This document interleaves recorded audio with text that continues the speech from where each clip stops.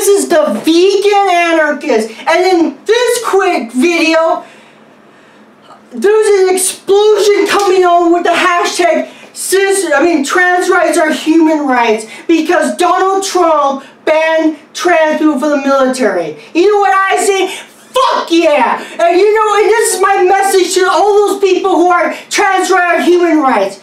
What about the fuck oh, about those trans people the military and U.S. imperialism kills? What about those people?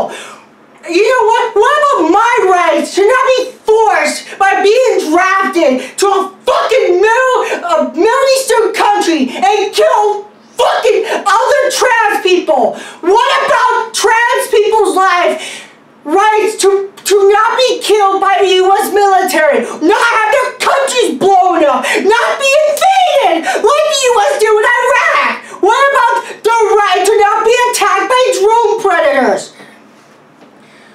I am proud Donald Trump banned trans people because that means I wouldn't, I'd rather be seen as a burden than as fucking someone to be made to kill other trans people like myself. I am fucking pissed at those goddamn liberals who use human trans rights and women's rights to justify murdering people who are, by the way, cis and trans and women and men and all sorts of different people. No! Trans rights are human rights, so fuck the troops this shit. We should abolish the military and I don't want to be in the military, so fuck you liberals. Trans rights are human rights, so let's end those wars and let's have a real revolution. Those trans people you don't want you can't be in the army, you might as well join the Revolutionary Workers Army or fucking Rojava. You can join us. This is where the true freedom fighters are at.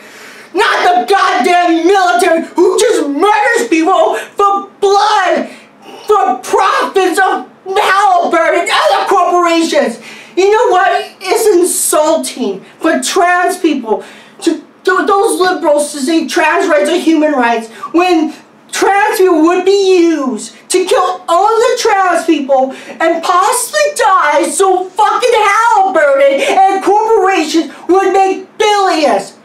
Fuck this shit. Fuck the military. And yes, trans rights are human rights. So fuck the military. This is the anarchist. No meat, no milk, no masses. See ya.